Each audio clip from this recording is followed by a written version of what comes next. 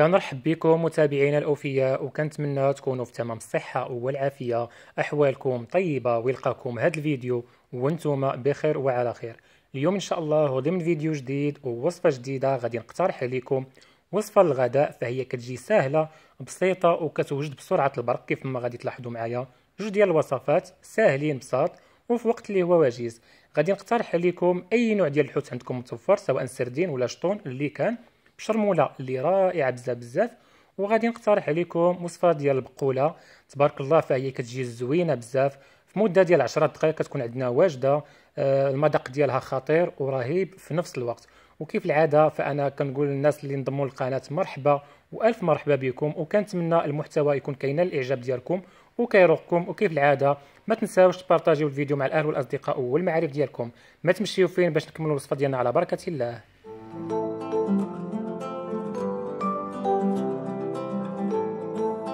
كنرحب بكم متابعينا الأوفياء وغادي نبداو الوصفة ديالنا على بركة الله. في المرحلة الأولى غادي نحضروا البقولة اللي كتوجد في 10 ديال الدقائق اللي غادي نحتاجوا فيها. قبطة من جوج قبطات حتى لثلاثة كيبقى دائما على حسب الأفراد ديال الأسرة. غادي ناخذوهم كنغسلوهم مزيان وكنديروهم كيستقطروا هكا من الماء حتى كينشفوا. عاد كنقرضوها هكا مزيان كتكون متوسطة ماشي رقيقة بزاف وماشي غليظة. فبالنسبة لي احتاجيت قبطة ونص. مع قبطة ديال الربيع ما بين القزبر والمعدنوس ثلاثة ديال الفصوص ديال الثومه الملح معلقه صغيرة ومعلقه صغيرة ديال الخرقوم معلقه صغيرة ديال الكمون. غادي نديرو الكل في طنجرة الضغط يعني باش غادي نسهلوا علينا العملية. وغادي تاخذ معنا 10 دقائق فقط فالبقولة ديالنا كتكون واجدة.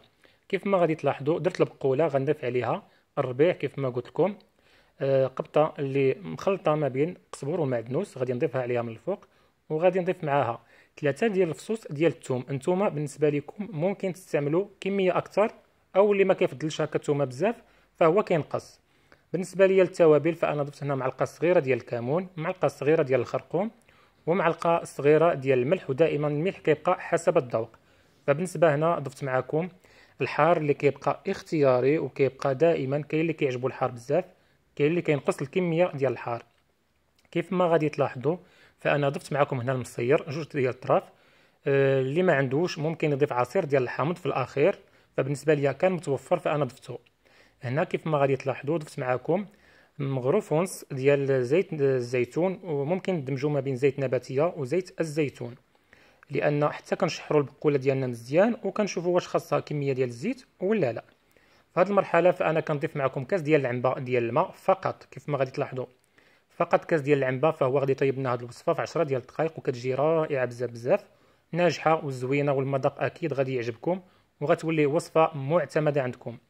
فبالنسبة للطريقة ديال الطهي كنديروا الغلاقة مزيان ديال الكوكوط كنزيروا مزيان كنديروا الصفارة كنحطوها على نار اللي كتكون ما مجهداش بزاف لأن إلا جهدنا فأكيد البقولة ديالنا غادي تشوط وما غاديش طيب.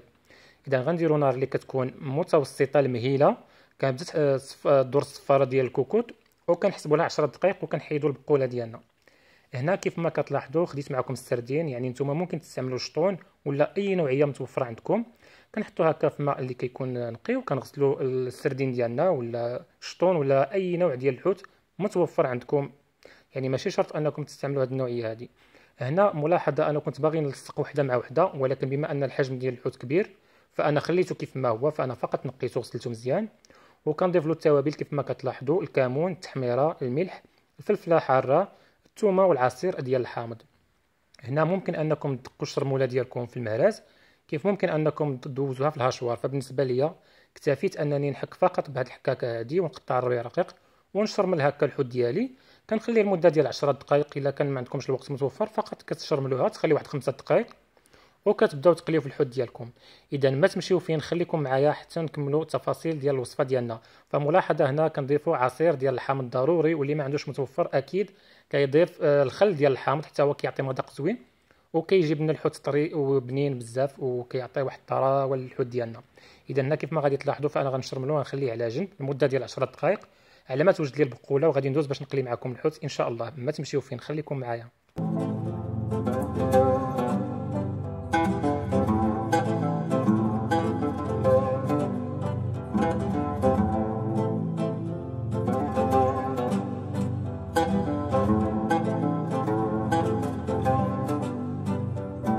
كيف ما كتلاحظوا متابعينا الأوفياء من بعد ما شرمت الحوت ديالي. كنخليه لمده ديال 10 دقائق حتى ل 15 دقيقة باش كيتشرب ليا التوابل مزيان مزيان. كندير له الفيلم اليمونتير وكنخليه على جنب.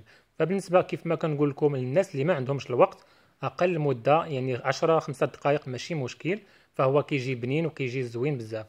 هذه الأثناء فأنا درت المقلة على نار اللي كتكون متوسطة درت فيها كمية من الزيت النباتية. كناخذ كمية من الدقيق سواء القمح الفينو ولا la force اللي متوفر عندكم. دائما كنقضيو باللي عندنا في المنزل ديالنا.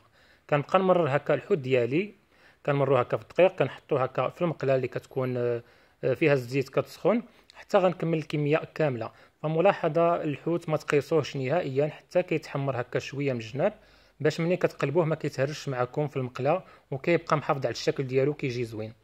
فبالنسبة للشكل ديال البقولة ولا لطريقة البقولة كنخليوها حتى كطيب 10 دقائق كنطفيو عليها. كنردوها فوق البوطة هكا كنقلبوا شنو خاصها سواء الملحة ولا الحار. فبالنسبة للمقادير اللي عطيتكم فهي كتجي زوينة بزاف. ولكن الناس كاين اللي كيبغي الحار بزاف كاين اللي كيبغي الحامض. آه، كاين كيبغي الملحة عاوتاني تكون بنينة. كل واحد كيبقى دائما على حسب الذوق. كتردوا الكل فوق النار كتشحروها. كتزيدوا كمية الحار إلا كنتو كتبغيو الحار بزاف. الحامض كتضيفوه في المرحلة الأخيرة. أما بالنسبة لزيت الزيتون فحنا في الأخير كنضيف واحد الخويط ديال زيت الزيتون كتعطي واحد المذاق اللي بنين بزاف بزاف. وكيف العادة؟ كنرحب بالناس اللي يلاه انضموا للقناه باش يشتركوا في القناة بالضغط على الزر الأحمر مع تفعيل زر الجرس. بارطاجيو la chaîne مع الأهل والأصدقاء والمعارف ديالكم. وكيف العادة؟ دعمونا بزر like للإعجاب باش هكا الفيديو كيتلونسا عند أكبر عدد من المتابعين. هكذا كتحفزوني نعطيكم وصفات اللي كتكون سهلة وفي المتناول. وفي نفس الوقت كتعم الفائدة. وكيف العادة؟ ما تنساونيش من التعاليق والآراء ديالكم الزوينة اللي دائما كتحفزني هكا نبقى حاضر معكم ونعطيكم دائما الجديد والمزيد. وما تنساوش تبارطاجيو الفيديو في مواقع التواصل الاجتماعي مع الأهل والأصدقاء والأحباب ديالكم ولما لا مع الأقارب ديالكم. إذا متابعينا وصفتنا اليوم كانت عبارة عن جوج ديال الوصفات اللي ساهلين للغداء فهما جاي كيجيو ساهلين وبساط. كيف ما لاحظتوا فبالنسبة لي البقولة زينتها هكا بالزيتون الأحمر فهو كيتماشى بزاف مع البقولة مع المصير اللي حضرت طيبت به. كيف ما لاحظتوا. فبالنسبة للحوت قدمته على هذا الشكل هذا مع لي طرونش ديال الحامض وأكيد دائما التزيين كيبقى اختياري. كيف ما كنقولوا دائما العين هي اللي كتاكل قبل آه الكرش إذا كنتمنى الوصفة تكون نالت الاعجاب ديالكم ورقتكم وصفتنا كانت سهلة وبسيطة وصفه الغداء اللي سريعة كتوجد يعني في مدة اللي قصيرة. كنتمنى الوصفة ديال اليوم تكون نالت الإعجاب ديالكم وكيف العادة؟ ما تنساونيش من الدعم ديالكم المتواصل. متابعينا الأوفياء دمتم في رعاية الله وحفظه إلى الملتقى في وصفة قادمة إن شاء الله.